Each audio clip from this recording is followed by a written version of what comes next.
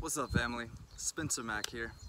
Topic of this video, vitamin K2 and vitamin D. Now this information does not strictly apply to just the carnivore diet, though since I'm going through the carnivore diet, I am finding all of the different nutrients that seem to be deficient in the diet and studying them independently and choosing whether or not to supplement them. Vitamin K2 is one that I'm choosing to supplement. It is responsible for shuttling the calcium in the body and making sure it ends up in the right place. If you're familiar with Dr. Weston Price's research, he considered it the X factor that was necessary for the proper mineralization of your bones and your teeth. And purportedly, up to 80% of individuals in this day and age are deficient in it. It lowers cardiovascular risk, increases bone mineral density, the health of your teeth, the health of your skin, lowers risk of prostate cancer, and has even been shown to boost testosterone. But I believe that was only in rodents. On that note, it pairs very well with vitamin D, which as we're pretty much all familiar with, I'm making right now. Now you endogenously produce vitamin D whenever you get proper UV radiation, so to speak. Now, interesting enough, it's only in the midday hours that the sun is strong enough to activate the vitamin D production in your body. If you're further in the northern or southern hemisphere, away from the equator, the smaller that window is. And there are even parts of the year where you cannot produce it due to the fact that you're just not getting enough sun. There's an excellent website I found that actually shows you based on your longitude what time of day you can produce the vitamin D. Now, that being said, I even looked into some studies showing that Caucasian surfers, even though they spent ample time in the sun, were still not in optimal levels of vitamin D. I've seen research showing a correlation between higher vitamin D, higher testosterone. Higher vitamin D is also necessary for calcium absorption, bone mineral density, as well as multiple other factors. Now, I was always hesitant to supplement with it because it's actually a hormone, not a vitamin. However, seeing multiple benefits with it, I am more and more interested in it. One of the dangers is that supplementing too much vitamin D actually leads to calcification. However, that's where vitamin K2 comes in.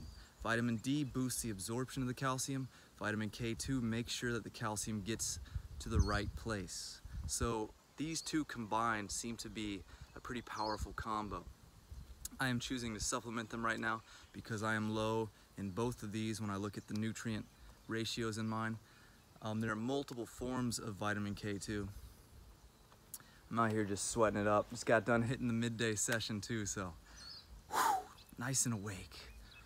Vitamin D, baby. Also, if you catch sunshine, don't wash off afterwards. Don't use soap because supposedly you can actually wash away the vitamin D that you're producing.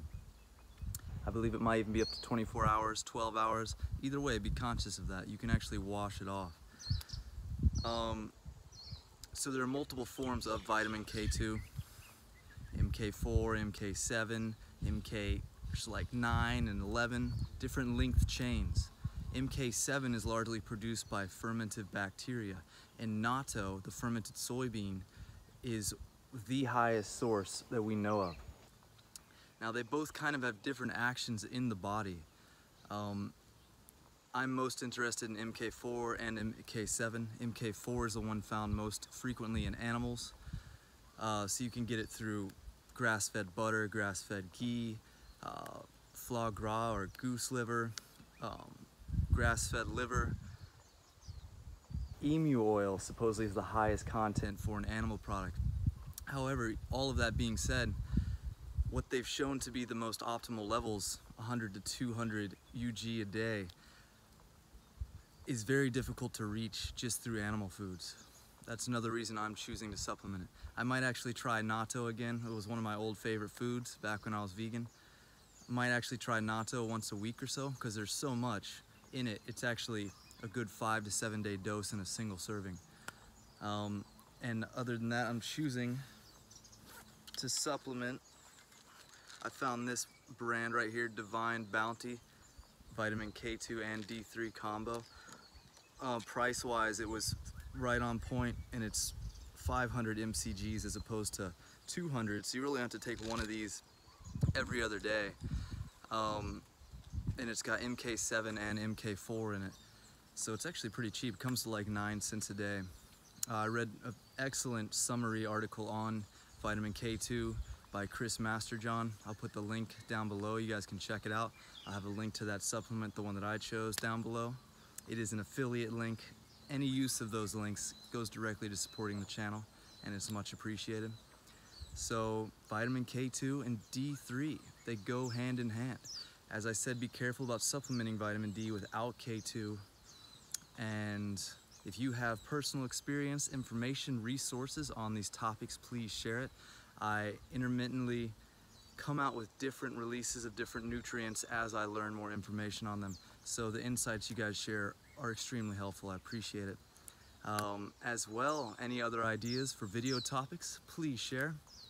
And subscribe if you have not already. Share if you want to support the channel and hit the notification bell so we can be right on time together. Awesome guys, it's always a pleasure. See y'all in the next one. Aloha.